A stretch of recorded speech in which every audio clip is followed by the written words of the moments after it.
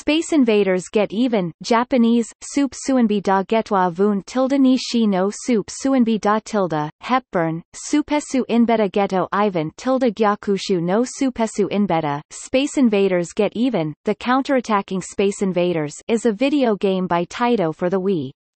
Originally intended as a retail release, the game was released as a downloadable WiiWare game instead.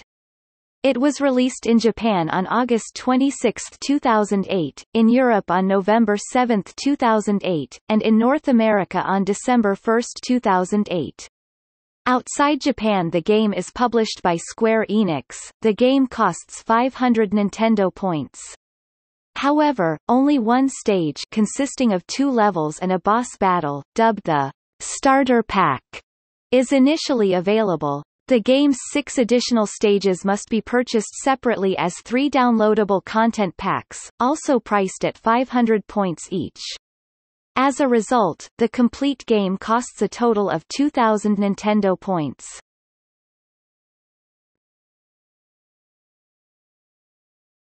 Topic. Gameplay The origins of the game lie with the original classic arcade game Space Invaders. However, Space Invaders Get Even puts a twist on the formula by letting the player control the Space Invaders themselves, breaking away from the gameplay of the original game and its spin-offs. Space Invaders Get Even sees players piloting the Invaders UFO across a landscape rendered in 3D graphics, which encompasses areas such as cities, deserts, forests, oceans and military bases. By downloading the extra stages, players are also given the option to swap out the UFO in the game with ships from the Darius and Rayforce series of Taito shoot 'em ups, as well as a polygonal version of the classic UFO from Space Invaders.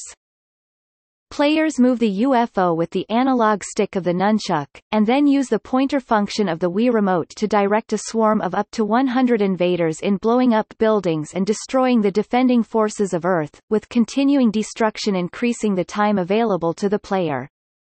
The invaders, which are rendered as flat, glowing two-dimensional sprites which resemble the invaders in the original game, can utilize a number of attack formations to dispatch enemies, including forming a drill-like formation to bore into them or crushing them by bouncing on top of them from above.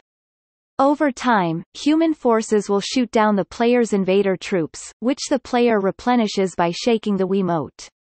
Upon eliminating all opposition in the stage, which includes fighter jets, helicopter gunships and gunboats, the player must then take on a large boss, which include a giant tank, mecha and a huge battleship.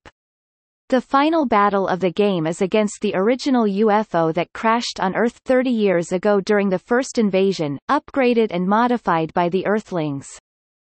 The game also features online leaderboards.